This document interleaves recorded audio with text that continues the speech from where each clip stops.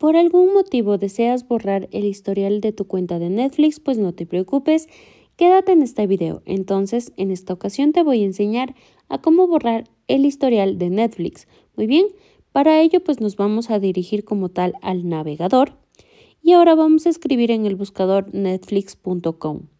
Luego vamos a iniciar como de costumbre pues sesión y nos vamos a dirigir ahora a la parte superior izquierda.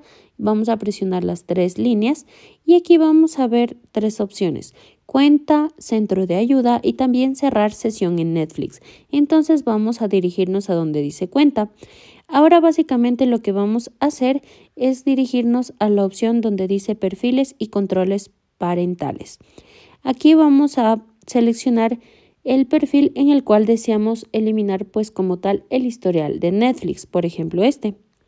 Ahora aquí encontramos opciones como idioma, restricciones de visualización, bloqueo, transferir este perfil, también actividad de visualización. Entonces vamos a dar un clic en esta opción, es decir, actividad de visualización, ¿no? Ahora pues aquí como podemos observar ya tenemos todo el historial, ¿no?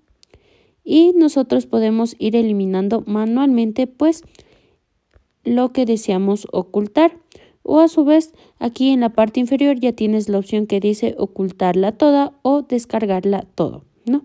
Entonces, por ejemplo, vamos a dar un clic en ocultarla todo y listo. Así de fácil y sencillo vamos a poder eliminar el historial en Netflix.